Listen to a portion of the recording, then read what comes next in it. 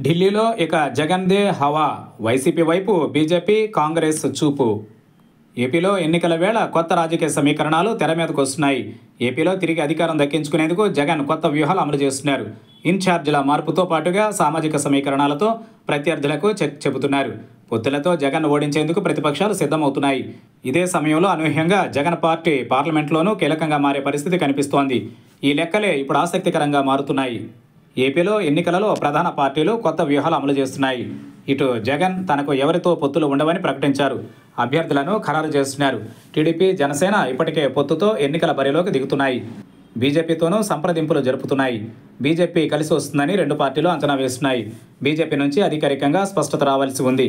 అటు బీజేపీ కేంద్రంలో హ్యాట్రిక్ విజయం కోసం రాష్ట్రాల వారీగా పొత్తుల వ్యవహారంలో ఆచితూచి నిర్ణయం తీసుకుంటోంది. కాంగ్రెస్ నాయకత్వంలోని ఇండియా కూటమి సత్తా చాటాలని ప్రయత్నిస్తోంది. ఇదే సమయంలో ఏపీ నుంచి ఆసక్తికర అంశం ఇప్పుడు చర్చకు కారణమవుతోంది. కేంద్రంలో ఎవరు అధికారులకు వచ్చినా తమ నిర్ణయాల అమలులో రాజ్యసభ కీలకంగా మారుతోంది. అక్కడ ప్రస్తుతం వైసీపీకి తొమ్మిది మంది సభ్యుల బలం ఉంది. ఇప్పటికే బీజేపీ ప్రభుత్వం తీసుకున్న పలు నిర్ణయాలకు రాజ్యసభలో వైసీపీ మద్దతు ఇస్తూ వచ్చింది.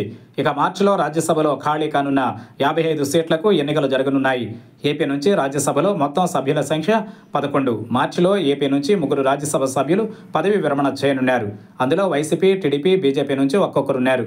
ఈ ఎన్నికలలో వైసీపీ తమ స్థానంతో పాటుగా మరో రెండు స్థానాలను తమ ఖాతాలో వేసుకోనుంది. దీంతో ప్రస్తుతం తొమ్మిదిగా ఉన్న వైసీపీ బలం పదకొండుకు చేరనుంది. టీడీపీకి ప్రాతినిధ్యం ఉండదు. దీంతో రాజ్యసభలో తొలి నాలుగు అతిపెద్ద పార్టీల్లో వైసీపీ చేరనుంది. నిర్ణయాలు బిల్లుల ఆమోదంలో కీలకం కానుంది. వైసీపీ అటు ఎన్డీఏ ఇటు ఇండియా కూటమికి దూరంగా ఉంటోంది. టీడీపీ జనసేనతో బీజేపీ కలిస్తే ఇక జగన్ పార్టీ నుంచి రాజ్యసభలో మద్దతు బీజేపీ కూటమికి ఉంటుందా లేదా అనేది సందేహమే. ఇండియా కూటమి వైపు జగన్ మొగ్గు చూపే అవకాశం లేదు.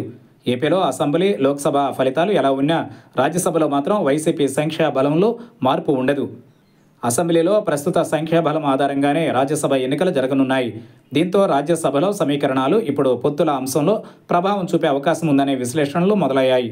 ఇక ఏపీలో ఎవరు ఎవరితో కలుస్తారు? రాజ్యసభలో వైసీపీ నిర్ణయాలు ఎలా ఉంటాయనేది ఆసక్తికర అంశంగా మారుతోంది.